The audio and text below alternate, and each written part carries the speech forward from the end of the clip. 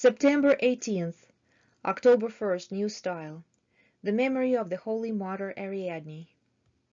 The holy martyr Ariadne suffered for Christ during the reign of the wicked Emperor Hadrian. She was a servant of a certain Tertullus, the ruler of the city of Phrynissus in Phrygia.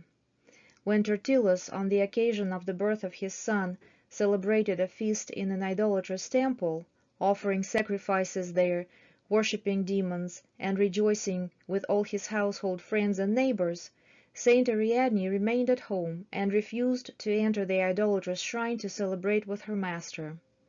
In anger her master began to beat her mercilessly, and eventually he hanged her, ordering her to be lacerated with iron.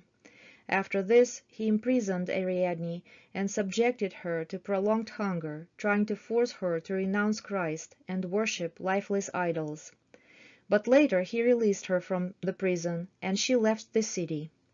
Then Tertullus repented of releasing her, and pursued her with his servants. Ariadne, looking back and seeing the pursuit, fled. Approaching a rock, she began to pray to God to deliver her from the hands of her enemies.